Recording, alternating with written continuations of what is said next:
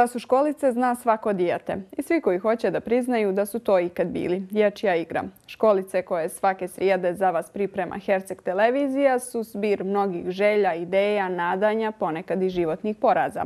Sudbina se igra sa ljudima i ljudi se igraju sa sudbinom. U tim međusobnim nadmudrivanjima nastaju nesvakidašnje i nevjerovatne priče. Priča naše junakinje Draženke Lončar je priča o hrabrosti, upornosti i beskrajnoj ljubavi. Istovremeno to je priča o prihvatanju onoga što nam život priredi, ali i neprestanoj borbi, borbi za drugog, čerku Mariju koja je rođena sa Angelmanovim sindromom.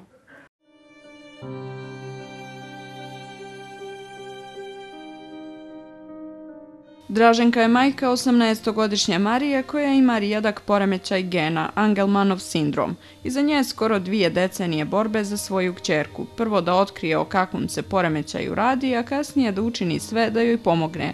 Ozbiljan zadatak za mladu majku sa svega 23 godine, koliko je Draženka imala kada je rodila Mariju. Kada ste mladi i stupite u brak, to vam nikad ne padne na pamet, ali desi se, priča Draženka. Posle prvog šoka slijedi borba. Prvih par mjeseci je sve to izgledalo sasvim normalno. Dijete rođeno iz uredne trudnoće i sa normalnom kilažom proplakalo na porodu sve, sve u redu.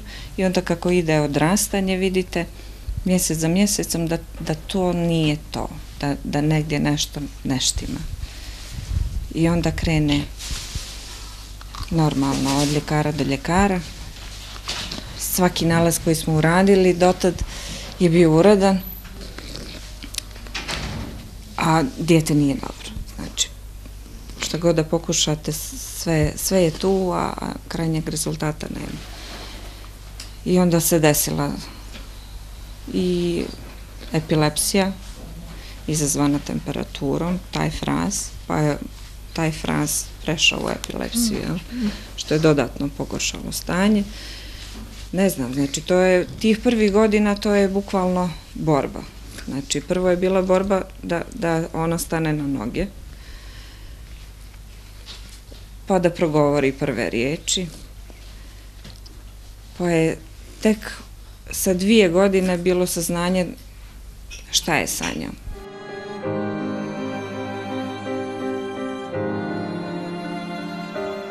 Najteže je porodici Lončar, priča nam Draženka Padalo, što ne zna protiv čega se bori. Dan kada su doktori utvrdili da se radi o rijetkom poremećaju gena koji se zove Angelmanov sindrom, bio je za nju srećan dan. Kad smo igrom slučaja smo došli do doktorice Đurić, koja je na institutu za majku i djete, neurolog. Ovaj, I ona je na prvi pogled prepoznala da bi kod Marije moglo da, da se radi o Angelman sindromu i mogu reći da, smo, da je naša porodica jedna od prvih koje su radile taj test za dokazivanje Angelman sindroma, jer nekih godinu dana prije toga čak nije, nije se znalo kako se to utvrđuje. I kad je Mariji bilo nekih go, e, dvije godine i tri mjeseca, dobili smo potvrdu da se stvarno radi o Angelman sindromu i mogu vam reći da je, da je taj dan bio jedan od sretnijih dana u mom životu. Koliko god to nekome čudno izgledalo, to je, to je bilo napukon saznanje da znate protiv čega se borite, ja to tako kažem.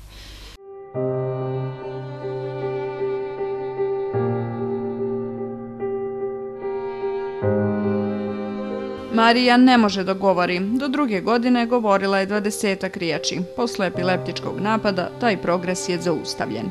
Ponovo smo učili da, da sjedi, da drži flašicu, da žvaće. Sve, sve što ste uložili dvije godine truda i živaca i neprospavanih noći i svega, sve, sve je za jedan dan poništeno bilo.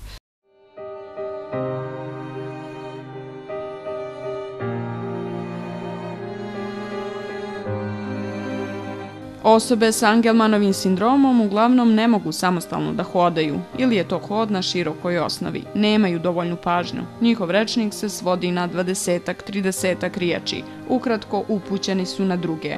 Ma koliki bio prvobitni šok kada shvatite da vaše dijete ima problem, morate se osvijestiti i boriti, priča nam Draženka. nije lako. Kad imate 23 godine, imate očekivanje u životu, ne znam. Da ćete imati, meni je želja bila recimo da imam petoro djece. I onda kad na prvom djetetu doživite, to je bukvalno šok bio. Prvo, ne znam, ne znate. Sva ljubav je tu, možda i mnogo veća nego što bi bila da, da nije to tako kako je bilo. Jednostavno, ne znam, mi možda smo se potrefili da smo ja i muž takvi, jednostavno nismo prepuštali slučaju i nismo čekali da se nešto desi samo od sebe, onoliko koliko smo mogli uraditi uradili smo, možda čak i više. Sve je ovaj, sve je borba u životu. Mm. I mene, ja nekad, ovaj, kad kažem za ove naše nove roditelje, možda nekad djelujem surova. Kad pokušam onako, na, možda i grubo i sve, kažem, dosta više. Mislim, ne, samo sažaljenje je najgora stvar u životu. I od toga nema ništa. I ja te mogu pustiti pa godinu dana, jer u tih prvih godinu dana se baš nešto i ne može sem te fizikalne terapije ni, ni postići. Ali tad u principu su roditelji najmanje i uključeni. I posle koliko god ovaj, to bilo ružno, i ono, ja ću te pokušati osvijestiti. I bilo je tih e, mama koje su se u početku ljutile na mene, kako sam bezobrazna, kako mogu ja tako nešto reći. Kako... I posle normalno kažu bila si u pravu, mislim ne bukvalno tim riječima, ali vidiš u, u obhođenju te osobe da jeste, jer mi smo ti koji, koji smo sve za našu djecu.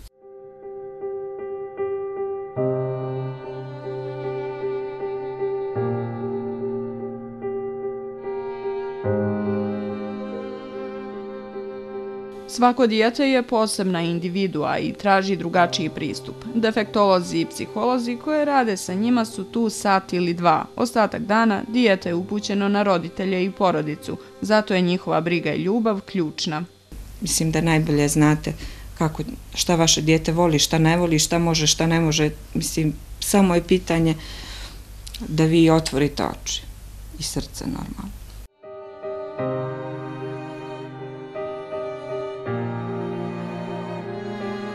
Nije lako vidjeti dijete koje pati, a vi mu ne možete pomoći. A kada je to još vaše dijete, to više boli, kaže Draženka. Zato je važno prvi godina da imate sa kime porazgovarati o svemu, pustiti da vam neko sa sličnim problemima da savjet.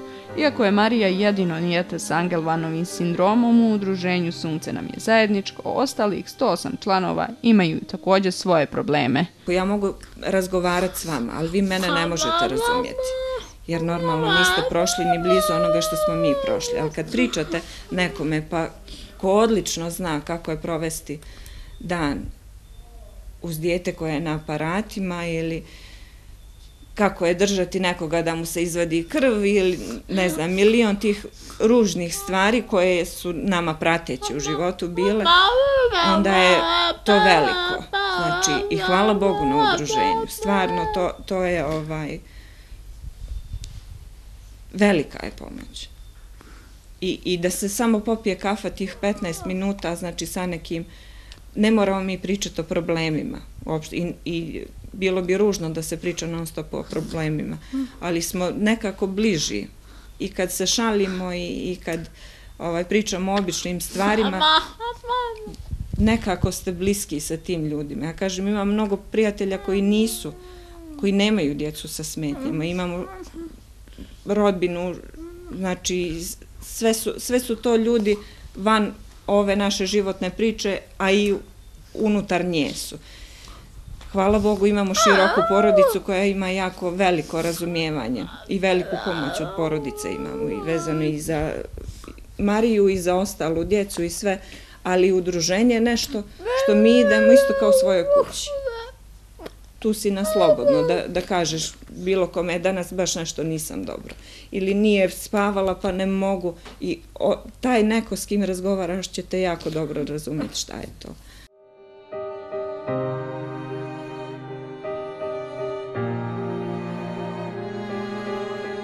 Zatvaranje u sebe nije opcija, baš kao što nije opcija ni držati dijete daleko od očiju drugih, kaže naša sagovornica. Koliko god se mi trudili u početku je to bilo kad je osnovano udruženje, mnogo je veći broj, valjda smo i mi bili mlađi, djeca su bila manja, pa je bilo lakše i manje problema koliko god to bilo, ovaj, nekako su bili,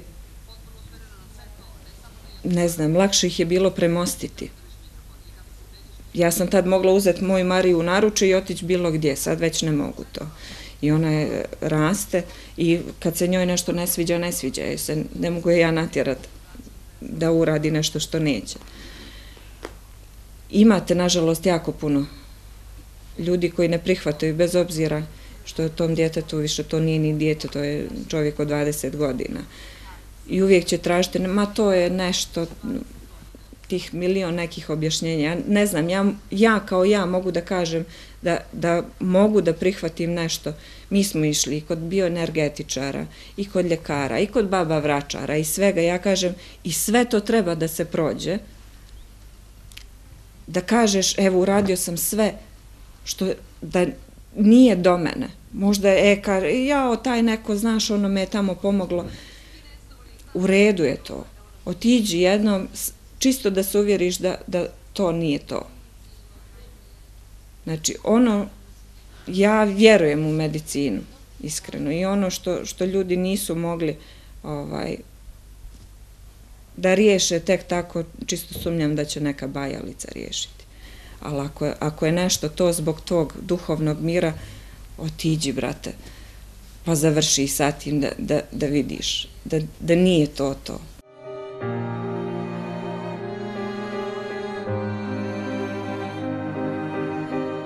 Draženka je ponosna što je u gradu prepoznaju kao Marijinu majku. Mi smo porodica koja je nije ni jednog momenta sakrivala svoje dijete. Znači, bili smo, nažalost nije imala priliku da ide u vrtić, ova inkluzija je krenula tek mnogo kasnije, ali ovaj, mislim da njoj društva nije falilo, znači bilo koji koncert muzike koju ona voli, mi smo otišli tamo, dešavanja bilo koja u gradu, sve što smo mogli ispratiti sa Marijom, išli smo i pozorišne predstave i, i ne znam, sve ne, ono što je bilo zanimljivo i Marija nije dijete koje je sakriveno. Vjerujte da mene masu ljudi prepoznaje u, po gradu kao Marijinu mamu. Oni ne znaju moje ime, ali znaju odlično Mariju. I nismo imali tog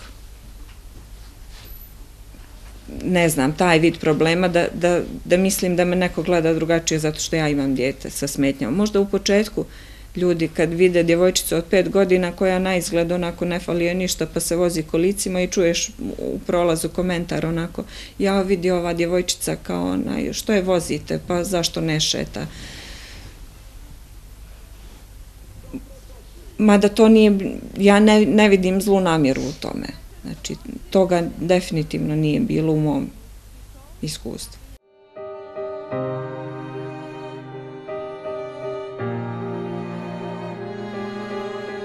Draženki nije bilo lako da se odluči da roditeljsku ljubav podijeli. Između Marije i njene sestre Jovane je 11 godina. Nije to zbog straha od Angelmanovog sindroma, već nedoumice da li će i drugoj djeci moći posvetiti dovoljnu pažnju. Ne znam, nije to bio strah da ću ja roditi još jedno dijete s Angelman sindromom. Nego jednostavno bilo, mislim, znala sam da se to, hajde, medicina je tak, tako napredovala, imate i prenatalnu diagnostiku, imam i ultrazvukovima, da se ultrazvukom Angelman sindrom ne može otkriti. Ovaj, ali je jednostavno više bio strah šta, šta uraditi sa Marijom i šta uraditi sa, sa tim djetetom, kako to izbalansirati da nijedno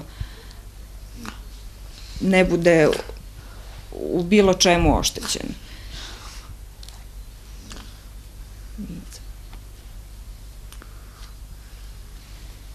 I 11 godina je veliki razmak. Ja kažem, meni je ranije kad bi mi neko pomenuo da ovaj, pa šta čekate, šta je, što, gdje je drugo dijete, pa Mariji bi dobro došla sestra ili brat ili sve to.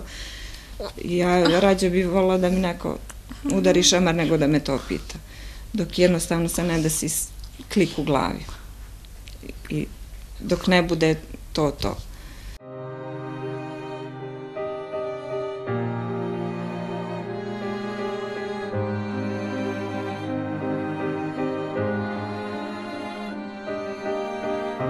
Pored Marije, porodica Lončar sada ima još tri kćerke. Jovana ima nepunih osam godina, Milica četiri i Lena dvije i po godine.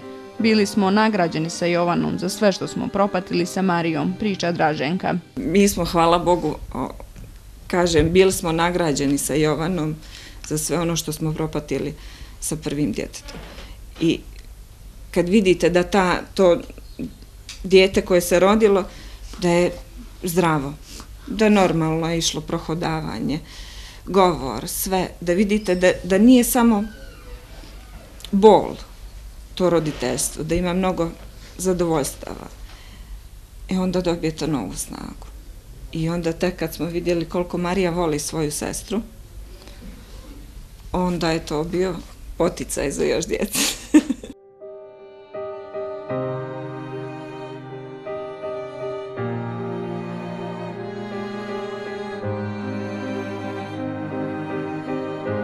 Ljudi nemaju predrasu da kaže ni prema njoj ni prema Mariji, jedino možda ponekad prepozna strah. Plaše se kaže da ih nekim pitanjem ne povrijede. Društvo i vodi i ne vodi računa o djeci sa posebnim potrebama. Na papiru milion prava, ali u realnom životu malo. Sve postoji i papir sve trpi. Možda mi imamo sreću na jedan način što živimo u malom gradu, pa ćete imati i bolji pristup kod ljekara, zato što vas poznaju ljudi, pa će vam izaći u susreti da dođu kući ako treba i bilo šta drugo.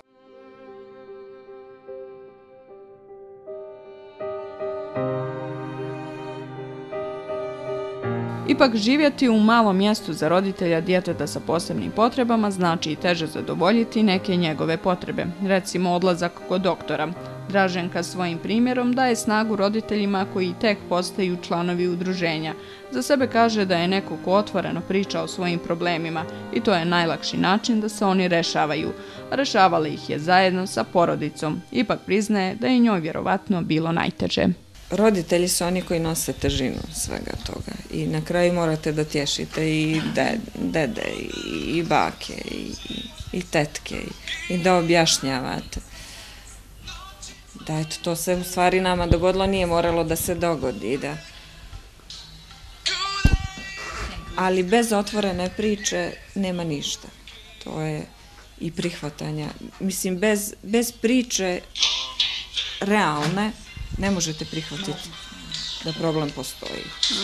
Pa bilo to pitanje bolesti ili loše učenje u školi, bilo šta, bilo šta u životu.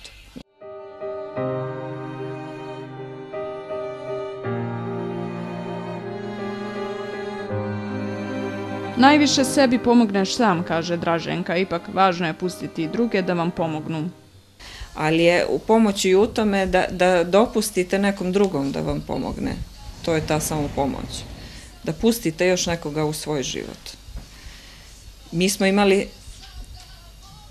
sreću da je, bili smo tad, Marije je bilo godinu dana kad je bila osnivačka skupština udruženja, I onda smo krenuli, taj prvi period mi nismo dolazili ovdje jer smo najviše vremena provodili u bolnicama. Bil, godinu dana sa Marine dvije godine smo proveli 23 dana kuće, ostale dane smo proveli u bolnici. Mislim, to je sad da, da pokušam to da uradim, ne vjerujem da bi mogla. To je jednostavno, u tim momentima imate nadljudsku snagu, to nema priče. I to su, to su stvari koje su neponovive. I ne daj Bože da se ponove.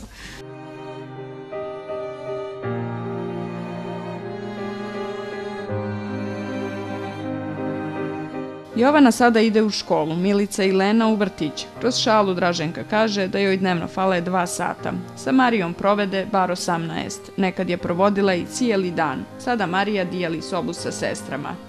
I Marija je u stvari jedna jako vesela djevojka. Kao djete bila baš onako raspoloženo djete. I, I to jeste u stvari odlika Angelman sindroma možda ne, ne toliko naša zasluga koliko, koliko i sindrom nosi to raspoloženje. Ne znam, Marija voli muziku, Marija voli društvo, voli telefone mobilne.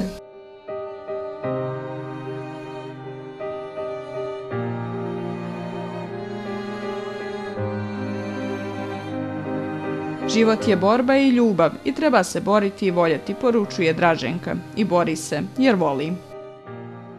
Iza Draženke je borba koja traje skoro dvije decenije. Bila je hrabra da stisne zube, prihvati da problem postoji, otvorena priča o njemu i učini sve da on bude manji, koliko je to moguće, dovoljno da bude primjer drugima. Bile su ovo još jedne školice. Emisiju možete pogledati na našem sajtu herceg.tv.